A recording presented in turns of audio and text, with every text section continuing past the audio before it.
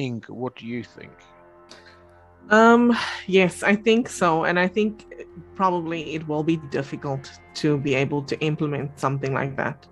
Um, but I don't think it's impossible because if you think about it, um, LinkedIn has any of you ever been uh, in LinkedIn jail? No. Thankfully, no, but I've know a lot of people have, I Yes. especially influencers. Yeah, I have. Um, many times. Okay. How did how did that happen, and and you know, how long were you out, and and what did you have to do to get back? Um, so there were different instances. I'll tell you, the ones that I'm specifically speaking of is like when you.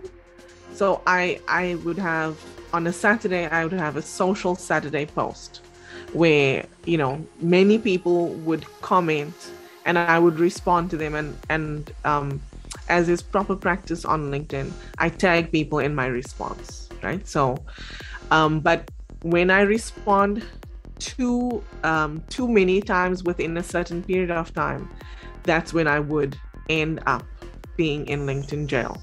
And a lot of the time, it would happen um, for maybe about 24 hours. Oh wow.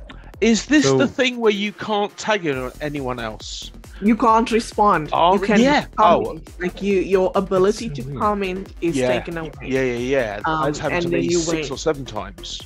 Yeah, yeah. Oh. So that that's, and you're like, what the heck? Like I keep trying to comment and respond, and then it just, it just like your comment disappears, and you're like, this is weird. Yeah. And yeah. then there's been an instance where um, something was going on with my computer, and I had two-factor authentication. And when I was trying to get into my LinkedIn account, it would give me a code on this on another app, but then somehow it would ask for the code again, and I would give the code that I have on my phone, and then it it's the wrong code. So I got locked out of my account. My my account completely got removed from LinkedIn. That's yes, and I I had to verify who I was. Um, Hmm. you know, I received a message from LinkedIn, and I had to actually send them an image of my passport so that Wow. they that I was really who I was saying I was. Um, and you know, so if they can do those things, yeah. it's possible no for them to to filter out you know comments and i i have a friend of mine actually you know um she she was wanting to connect with with other people in her profession. And what she did was you know like we have a a, a limit a connection limit per week. Mm. and you know it would say you would get an, a message saying fyi you're approaching your connection limit. And she would just say oh she'd click okay whatever and she would just continue until she couldn't anymore. And she did that for a few weeks. And linkedin has now blocked her and removed her she's not allowed to be on linkedin she even tried with a different um, email address but with the same name linkedin has blocked her she cannot create a linkedin profile Wow. What is Wow, indeed. yeah What is so wrong? And this is a good person. What Yeah. about all Mhm. people who come on to you who do all these sordid things and they're Mhm. allowed to continue on their merry way? We're talking about fine professional people. They do not deserve that treatment.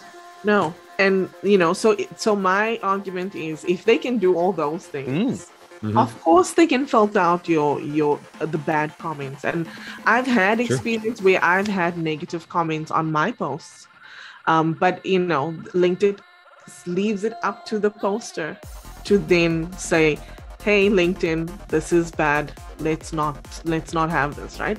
And I don't know, like, how do you they they need to have some sort of balance and like i said earlier they need to be more proactive in preventing this kind of behavior Very valid point.